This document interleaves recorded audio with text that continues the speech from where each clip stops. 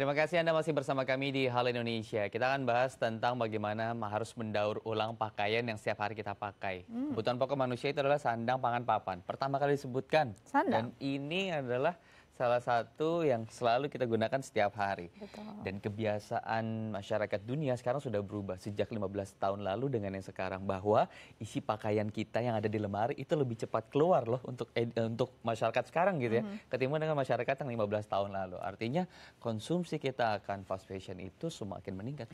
Itu dia mungkin karena tadinya sandang yang hanya kebutuhan sekarang ya. sudah jadi keinginan juga dan gaya hidup. Betul. Ya kan akhirnya selalu membeli yang baru, membeli yang baru tapi ya akhirnya jadi limbah.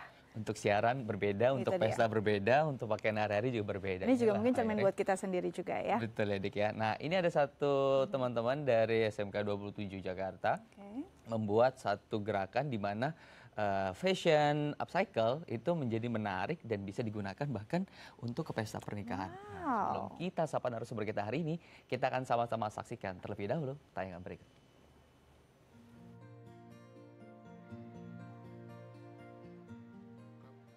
Inilah peragaan busana daur ulang yang saat ini dikenal dengan sebutan eco fashion. Busana daur ulang ini dibuat dari baju bekas yang dirancang ulang menjadi gaun cantik dan antik. Hasil karya busana daur ulang ini adalah karya para pelajar Sekolah Menengah Kejuruan Negeri 27 Jakarta. Di bawah unit usaha sekolah bernama Aiden, sejak Mei 2018, para pelajar SMK mengelola kain bekas pakai dan menyatukannya menjadi busana dengan menerapkan pola geometrik.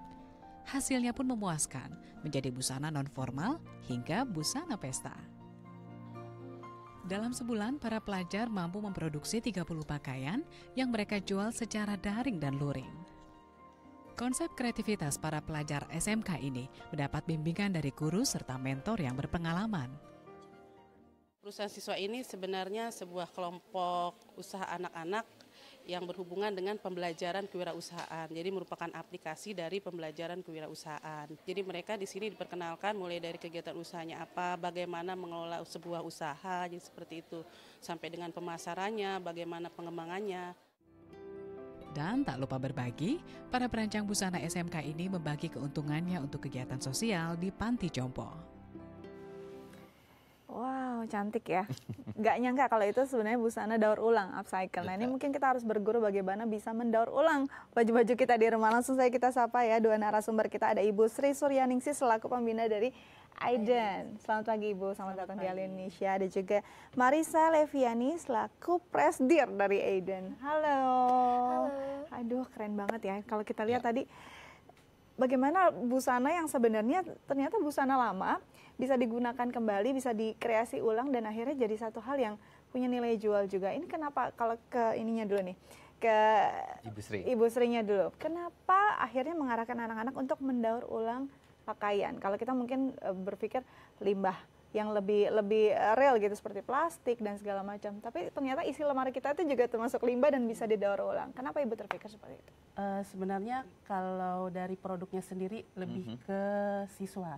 Okay. Ya, saya sebagai pembimbing hanya mengarahkan saja mm -hmm. karena memang kan limbah di sekeliling kita banyak mm -hmm. gitu. Jadi limbah banyak yang ada di sekeliling kita itu yang coba dimanfaatkan okay. bukan hanya limbah saja mungkin seperti baju-baju kan baju lama Betul. sudah tidak kita pakai tapi kan masih bagus gitu hmm. kita ingin yang model terbaru lagi hmm. gitu atau mungkin yang banyak baju yang dijual reject okay. ada yang rusak dan itu kan masih bisa dimanfaatkan lagi. Betul. Idenya seperti itu awalnya. Jadi idenya lahir dari anak-anak itu sendiri anak -anak ya. itu sendiri. Nah, berarti dari Marisa dan teman-teman gitu ya, betul yeah, ya. Betul. Ini seusia kamu yang masih SMK ya, kelas 2 SMK. Kenapa? Kok bisa sih terpikir untuk mendaur ulang, mengupcycle lagi bahan-bahan seperti ini yang ada di belakang kamu kan busana daur ulang gitu ya. Kenapa terpikir untuk busana-busana yang sudah tidak terpakai atau misalnya sisa industri gitu ya didaur ulang lagi apa dasarnya?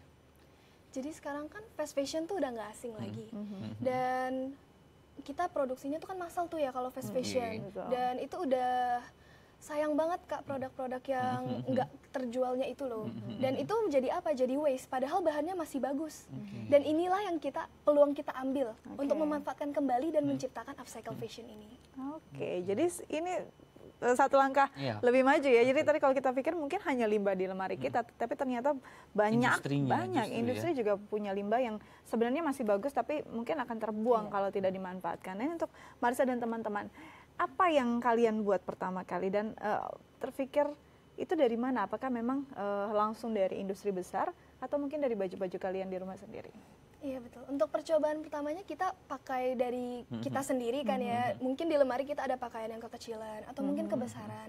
Fabriknya masih bagus, masih nice. Itu kita pakai kembali kita buat desain gitu kan okay. nah terus kita buat polanya dan kita jadikan itu barang hmm. gitu mulai dari situ sih sebenarnya concern-concern teman-teman juga kan namanya hmm. juga remaja yeah. always want to up to date gitu kan yeah. nah kita dapat sama kayak kita ya jadi dari situ lah akhirnya lahirlah ide-ide hmm. seperti ini ini kan yeah. mereka harus bertemu dengan uh, para industri oh. besar nih bu atau misal industri ya katakan rumahan lah tapi harus ada fasilitas nih Bu Sri bagaimana sekolah memfasilitasi mereka ini agar bisa mendapat akses eh, limbah-limbah uh, industri tadi sehingga bisa mereka olah menjadi satu fashion upcycle. Ya mungkin kalau untuk mendapatkan bahan bakunya banyak sebenarnya di sekeliling hmm. kita ya, karena kan di sekeliling kita juga banyak konveksi. Oke. Gitu. Sekeliling sekolah berarti ya, ya? Bukan hanya sekeliling sekolah, sekeliling rumah-rumah dari anak-anak juga kan, okay. ada konveksi, ada penjahit. Yang di sana mungkin ada dari hasil jahitannya atau mungkin yeah, yeah, yeah bahan yang sudah tidak terpakai tapi masih bagus ini masih bisa dimanfaatkan. Mm -hmm. Dan ini merupakan bahan baku yang murah untuk anak-anak mm -hmm. gitu kan tidak keluar modal besar mm -hmm. tapi bisa menghasilkan hasil yang lumayan seperti okay. itu. Nah, ini mungkin limbahnya tersedia dengan mudah bisa didapatkan tapi perlu ada skill juga untuk mengolahnya kan. Mm pertama mungkin untuk desainnya sendiri dan juga untuk menjahitnya. Marisa dan teman-teman dapat ilmu dari mana? Apakah memang sesuai dengan disiplin ilmunya di sekolah atau seperti apa?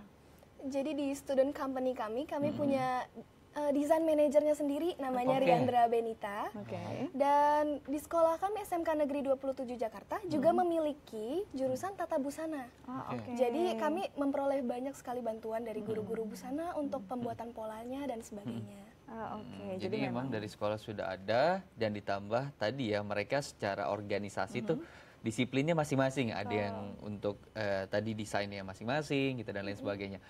Inspirasi dari mana sih sebetulnya karena di Indonesia jarang loh yang seperti ini gitu. Kalau mungkin kita lihat lebih banyak di luar negeri lah yang mengadopsi upcycle fashion seperti ini.